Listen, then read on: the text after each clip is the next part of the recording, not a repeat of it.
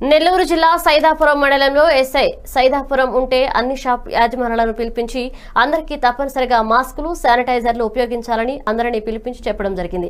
ఒకవేళ ఎవరైనా మాస్క్ లేకుండా తిరగడం చూస్తే వారిని తగిన చర్యలు తీసుకోవడం జరుగుతుందని చెప్పారు. ఎవరైనా బైక్ పైన ముగ్గురు వ్యక్తులు వెళ్ళడం చూస్తే ఆ బైక్ మూడు నెలలు సీజ్ చేస్తామని చెప్పారు. కరోనా గురించి మరియు దానికి సంబంధించిన జాగ్రత్తల గురించి అందరికీ తెలియచేయడం జరిగింది. ఉంటాను.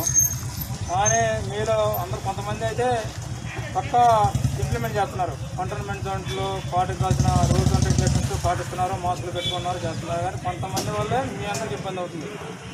ఆ కొంతమంది నేను పేర్లే చెప్పను కానీ ఆ కొంతమంది వాళ్ళు మాస్కులు ధరించ ధరించకుండా ఉండటంతో పాటు వాళ్ళ మీ షాపులకు వచ్చే వాళ్ళకు కూడా అవేర్నెస్ చేయట్లేదు అవేర్నెస్ చెప్పడం అంటే మీరు కనీసం పక్క మీ షాప్ ముందు శానిటైజర్ బాటిల్ లీటర్ బాటిల్ పెట్టాలి ప్రతి షాపులోనూ శానిటైజర్ పెడుతున్నారు. వచ్చిన వాళ్ళకి శానిటైజరు హ్యాండ్ డ్రాప్ చేసుకుని లోపల రమ్మని చెప్పాలా? మార్కింగ్ అయితే ఎక్కడ ఏ షాపులో లేదు నిన్నటి వరకు కూడా. ఈరోజు ఒకళ్ళు ఇద్దరు పెట్టినట్టున్నారు.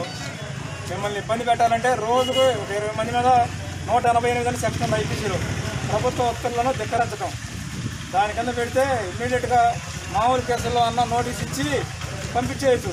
ఆ కేసుల్లో కోర్టు రిమాండ్ చేస్తుంది ఇమీడియట్గా టాలరేట్ చేయట్లా. మూడు రోజులు నాలుగు రోజులు వారం రోజులు జైలు వేస్తుంది. కాబట్టి నేను మీకు ఇదే లాస్ట్ అండ్ ఫైనల్ వాడిని ఎందుకంటే మిమ్మల్ని ఇబ్బంది పెట్టాలని ఉద్దేశం లేకపోతే నాకు చెప్పాను. తెలియజేస్తాను మీరంతా చేయాల్సింది అదే. ప్రతి షాప్ కూడా ఒక లీటర్ డబ్బా శానిటైజర్ డబ్బా పెట్టండి. నిర్మమాటంగా మాస్క్తో వస్తేనే మీరు మీ ప్రొవిజన్స్ ఎవరు డిస్ట్రిబ్యూట్ చేయండి లేదంటే ప్రమాదమే లేదు మీ ఆరోగ్యం మీ కుటుంబ ఆరోగ్యాన్ని దృష్టిలో పెట్టుకోండి. ప్రజల ఆరోగ్యాలను అందరినీ కూడా దృష్టిలో పెట్టుకోవాల్సిన బాధ్యత మీ అందరిపైన ఉంది. ఫస్ట్లో మన సైదాపురం మండలం ఎంటైర్ నెల్లూరు డిస్టిక్లో ఒక పాజిటివ్ కూడా లేదు. అలాంటిది ఎట్లాగో వచ్చింది. ఆల్రెడీ స్ప్రెడ్ అయిపోయింది. కమ్యూనిటీ స్ప్రెడ్ అంటారు దీన్ని. మనకు తెలీదు. మనలో ఉన్న సంగతి కూడా మనకు తెలియదు టెస్ట్ చేసుకుంటే తప్ప. ఆ స్టేజ్లోకి వచ్చాం కాబట్టి మన ఇంట్లో పసిపిల్లలు ఉంటారు వృద్ధులు ఉంటారు వీళ్ళందరికీ కూడా ప్రాణాంతకమైంది. మనకి వయసులో ఉన్న వాళ్ళకి యంగస్టర్స్కి అయితే ఏమీ చేయదు కానీ మిగతా పిల్లలకి వృద్ధులకు మాత్రం ప్రాణాలకు ప్రమాదం. ఆ వైరస్ వల్ల చచ్చిపోయిన వాళ్ళ శవం ఎంత దుర్భరంగా ఉంటుందంటే కుప్పసావు అంటారు. తెలుగులో చెప్పాలంటే కుప్పసావు.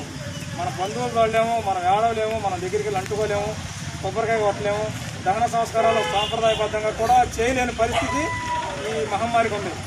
కాబట్టి